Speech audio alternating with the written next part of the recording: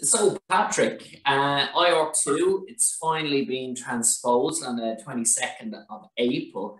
Uh, in the lead up to its transposition, there was a lot of discussion about how it would potentially impact on small and single member schemes. Can, can you help and flesh out maybe on the impact that the regulation has had on these schemes?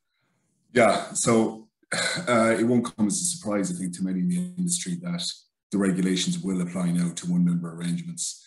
Um, there was speculation over the last few years that we would have a derogation like we had previously under the, the first IORP directive.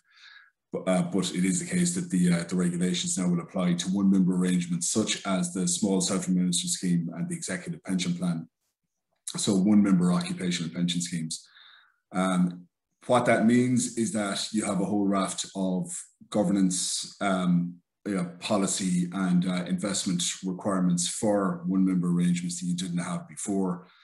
Um, th there's a lot for sponsors and for members to consider, I think. Um, certainly on the investment side, I think that those restrictions were the most controversial uh, and the ones most talked about in the single member pension space um, in the lead up to, to transposition. And so there's um, there's a lot to do. I think in the long run, it will make schemes such as the small self-administered scheme more expensive uh, for members um, because obviously the costs uh, and the compliance, the cost of compliance with the regulations will be passed on to members ultimately.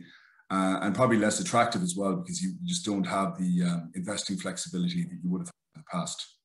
Yeah, and, and the regulations, uh, when they were transposed, they, they contained a number of exemptions in relation to small schemes that were uh, established prior yeah. to the transposition date. What, what are those? Yeah, so th there are some exemptions uh, for, and I guess concessions uh, to small self-administered schemes, or as they call them in the regulations, one-member arrangements that were established uh, before the transposition date uh, of, of 22nd of April. It means that the majority of the requirements of the regulations won't apply for five years to that scheme type, that for those schemes that were established before the transposition date. Um, no, some of the requirements will, such as the uh, investment and borrowing rules, and as well the, the number of trustees need to be appointed to the scheme. But the majority of the rules, so a, a lot of the governance requirements won't actually apply until the end of the five-year period. As well as um, they're not, while the investment and borrowing rules kick in immediately, they aren't retroactive. So we don't have, so providers of SSAS or SSAS members don't have to start looking at selling assets uh, so they would apply to existing investments or borrowing arrangements that were in place before um, the regulations became effective. Yeah. Well, providers uh, of SSASs and small executive one-man schemes, there's a number of requirements in there for, for trustees. What are you seeing in relation to providers? What are their main issues of concern with the regs? I think I think the big one is the, the member trustee model.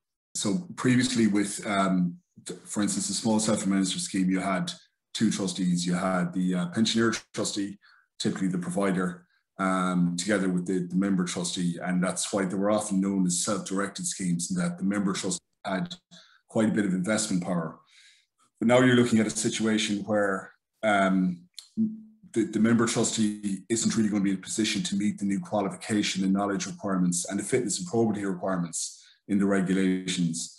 So providers would probably say, well, okay, we're just going to go with a sole corporate professional trustee acting as a trustee of the scheme. This, yeah, throws up some issues certainly for providers in that, you know, if they're bigger providers that are already regulated by MIFID II or Solvency II, this would be familiar enough territory in terms of what, you know, the requirements they'll have to meet. But otherwise, it, it will be quite difficult for smaller providers. And for members I think there's a loss then of that investment freedom. Um, it'll also be interesting to see if the Pensions Authority, you know, regulates, and I'm sure they will look at engaging with trustee boards of SSASs in, in a manner similar to how they've engaged with master trust boards. Um, and, you know, they've been quite exacting in that respect, I think. Yeah.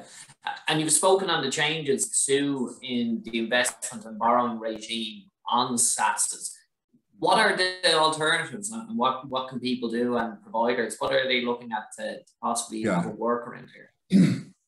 so one of one of the big ones on the investment restrictions is that investments must be predominantly invested in regulated markets. So for your one member arrangement for your SSAS or your um, executive pension plan, predominantly invested is thought to mean or is, is said to mean 50% or or at least so over well sorry I should say over 50% so 50% 51% at least.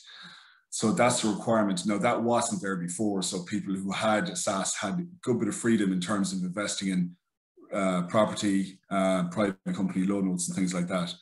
The alternatives now and the those pension vehicles that are unaffected by the regulations would they can still do that will be uh, a non-standard PRSA or a, a buyout bond.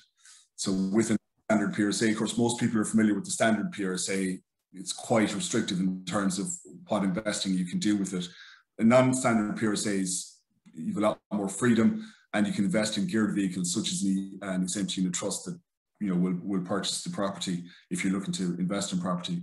A buyout bond, of course, is a contract with a provider or a life company where um, you look to transfer your benefits from your occupational pension scheme once you leave service or when the scheme is wound up. Uh, you transfer your benefits and then you have, while you can contribute to a buyout bond, you have a good degree of investing and borrowing freedom, freedom within that. Um, so there are the alternatives, really the buyout bond and the non-standard PRSA. And I think most providers uh, will be looking at that in terms of, you know, when they're allowing savers to look at unregulated investments, they're the kind of vehicles that will be used, I think, going forward. Yeah. And, and, just finally, the, the Pensions Authority have indicated that guidance will be provided throughout the, the rest of the year in relation to the IORP2 uh, regulation. Is there anything we, we can expect in the small, uh, the SSAS uh, sphere uh, in relation yeah. to the guidance that's coming out? I, I think we're, we're just hoping for clarification on maybe some of the cloudier uh, aspects of uh, and language in the in the regulations. There's probably a lot of terms in there that are undefined. And so we just need to know what they mean, such as the phrase collectively adequate on the trustee qualification side. Um, but generally, I mean, the Pensions Authority won't be able to change the regulations and they are what they are going forward. Uh, the rebalancing one will be interesting because a lot of providers are concerned about, okay, if you have, you know, a, a small self-administered scheme with uh, and at one point your valuation for your unregulated assets is 60%, um, or if you know the value of your regulated assets drop, does that mean you have to sell assets? Uh, do you have to contribute to the scheme? I mean, the, the, some clarification is is hoped for on, on things like that. Uh, but I think in the long run, like as I said, the, the Pensions Authority can't change the regulations. They are what they are, and we're going to into a space where the one member arrangement, such as the, the SSAS, is going to be considered less uh, attractive from a member's perspective and more expensive as well. And I think you'll have the non-standard uh, PRSA becoming more popular. Of course, the, the whole of life PRSA is, is um, something that might be down the tracks as well um, as an option. And the buyout bond and, and possibly the master trust as well. Um, may be some version of the master trust that providers of single member schemes will look at. Okay, super, Patrick. That's uh, very clear. Uh, it's well, one thing that is clear is that there's a lot happening in this space and we, we can expect a lot more during the course of the year. So thanks a million.